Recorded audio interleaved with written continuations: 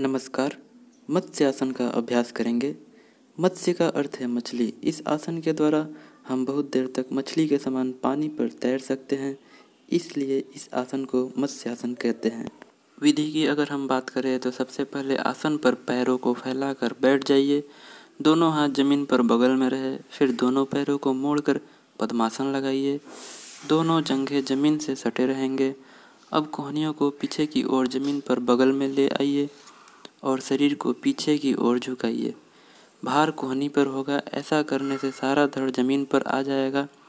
अब दोनों हथेलियों को कान के पास ज़मीन पर लाइए। हाथ पर वज़न देकर सिर को पीठ की तरफ़ जितना ले जा सकते हैं, ले जाइए। अब समूचे धड़ को, धड़ का बोझ सिर पर होगा।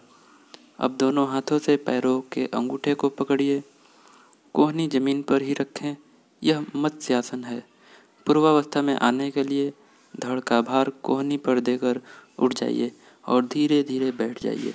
लाभ की अगर हम बात करें तो यह आसन पीठ और पेट की मांसपेशियों के साथ गर्दन और जंघा की मांसपेशियों को मज़बूत बनाता है।